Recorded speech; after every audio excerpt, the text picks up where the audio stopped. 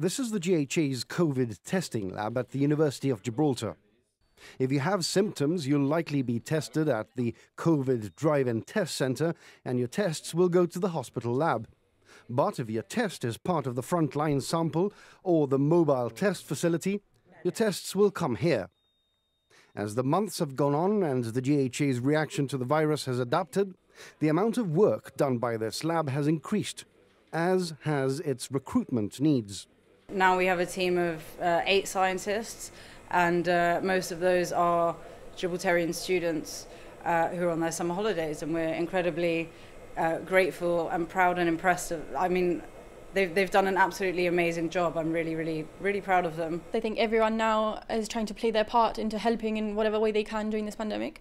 So I definitely thought, you know, if my skills could be used somewhere, I'd definitely come and because I was an undergrad, they kind of so there's two labs. There's this lab which is the dirty lab where the samples come in, and then around the back there's a clean lab, and they wanted to keep undergrad student students over there.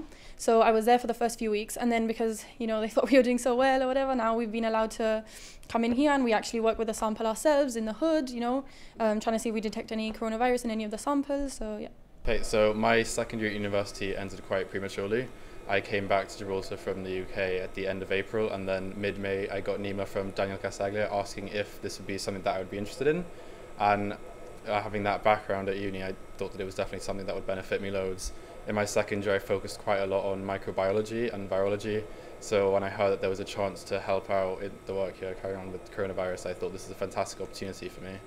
So I finished my um, medical year. We were doing it all online, um, and I was in touch with uh, one of the people that was working in the lab, and she mentioned that we might she might need some extra people to come over. Um, and because I've already uh, I've got a master's degree in molecular biology, I kind of had some of the relevant skills needed.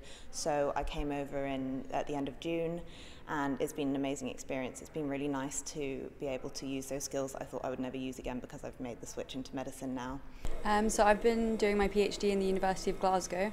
And as the lockdown started to come in, slowly but surely our lab was turned more into, rather than a research lab, a kind of COVID testing lab. Um, so all the equipment that I was using to do my studies uh, was donated to the NHS. Uh, so when the rules eased and I was able to come back home, um, I asked if anyone needed any help in the lab, and yeah, so I ended up here. He's one of our scientists. He's in London.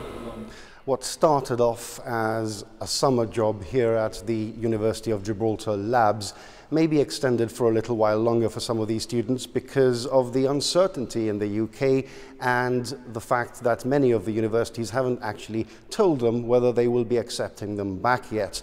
So some of them may stay on for a little bit longer. Yeah, so we don't really know what's going on, especially my university hasn't given any concrete start date or just any, we don't really know what's going on at all. And so it's something I'm really going to have to wait until the last minute to make a decision.